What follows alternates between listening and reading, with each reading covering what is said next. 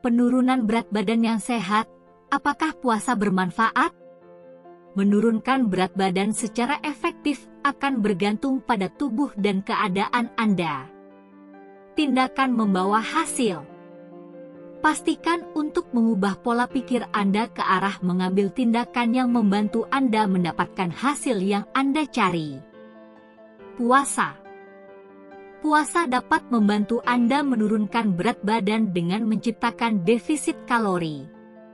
Dengan membatasi asupan kalori, Anda tidak mengonsumsi makanan selama jangka waktu tertentu. Hal ini dapat menyebabkan penurunan berat badan karena tubuh Anda terdorong untuk membakar lemak yang tersimpan sebagai sumber energi ketika simpanan energi alami dari makanan tidak tersedia.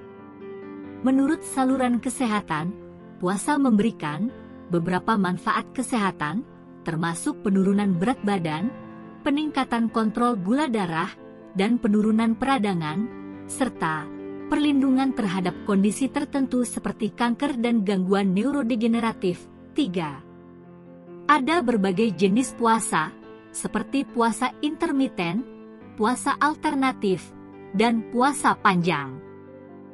Puasa intermiten melibatkan pembatasan waktu makan pada jangka waktu tertentu, seperti puasa 16 jam dengan 8 jam makan. Metode ini adalah rekomendasi favorit saya berdasarkan temuan Dr. Stan Ekberg karena metode ini paling mudah diterapkan bagi pemilik bisnis yang sering bepergian, pelajar yang sibuk, dan orang biasa kebanyakan orang setuju bahwa Anda juga tidak boleh makan sebelum tidur.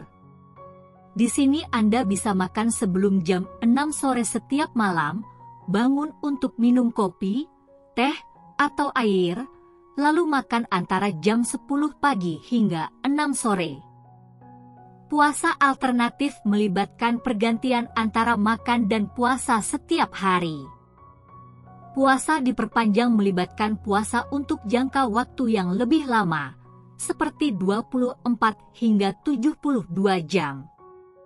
Meskipun puasa dapat membantu Anda menurunkan berat badan secara efektif, pastikan melakukannya dengan aman dan konsultasikan dengan ahli kesehatan sebelum memulai.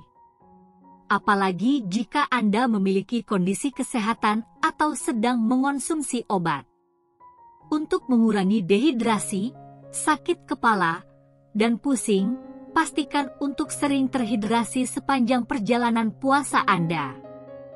Ingatlah bahwa jika Anda tidak menjaga pola makan yang sehat dan seimbang saat tidak berpuasa, berat badan Anda mungkin tetap bertambah atau tidak memberikan nutrisi yang dibutuhkan tubuh Anda. Tips sehat lainnya untuk menurunkan berat badan. Untuk menurunkan berat badan dengan cara yang sehat, pastikan Anda menurunkan berat badan secara bertahap. Anda seharusnya tidak menurunkan berat badan dengan cepat.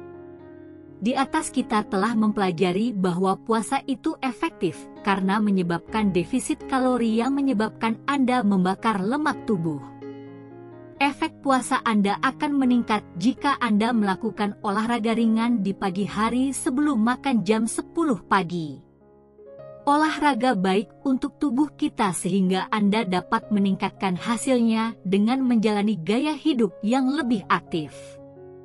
Saya lebih suka berolahraga setidaknya 4 jam per minggu. Pastikan untuk menikmati berjalan kaki, jogging, bersepeda, berenang, atau aktivitas lainnya. Makanlah makanan sehat seimbang yang mencakup buah-buahan, sayuran, protein tanpa lemak, dan lemak sehat. Hindari makanan olahan dan berkalori tinggi. Hidrasi secara teratur dengan minum banyak air. Nikmati teh kaya antioksidan setiap hari atau dua hari sekali. Tidur memengaruhi proses metabolisme Anda jadi pastikan untuk tidur 7 hingga 8 jam per 24 jam untuk membantu tubuh Anda beristirahat, memperbaiki diri, rileks, dan pulih. Kurangi pemicu stres dalam hidup Anda karena hal itu menyebabkan tubuh Anda memproduksi kortisol yang dapat berkontribusi pada penambahan berat badan.